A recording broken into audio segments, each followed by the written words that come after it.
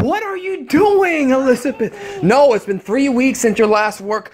What kind of combination is this? I don't know. You have a wine plan? problem. If you're not drinking wine, you're thinking about drinking wine. You're exaggerating. Really? Elizabeth, the only reason you go to communion is because the blood of Christ makes you happy. Okay, Elizabeth, this week we're gonna need some lean beef, okay? Grab that lean beef and I'll grab some down here. Whoops. okay, now let's go get some veggie tables. What the heck are veggie tables? Some water, basket of tomatoes, some watermelon. Ooh, that's bruised. Elizabeth, Elizabeth, can you come and get these cucumbers? I want to get some, but I just don't want to touch it. It doesn't feel right. Elizabeth, I seen you turn the corner. Look at you. We're making you fit. We're not making pinatas. Get out the candy aisle. Drop it.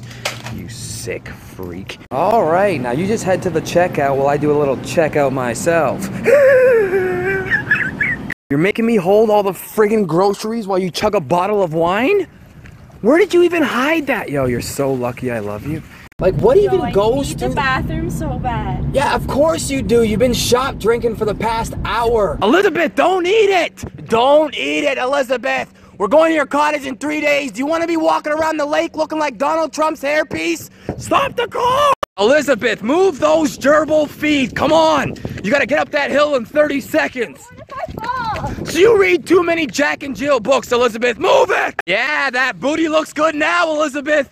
But keep drinking all that wine, eating all those junior chickens. You're gonna have an ass like Mrs. Doubtfire. Come on, baby!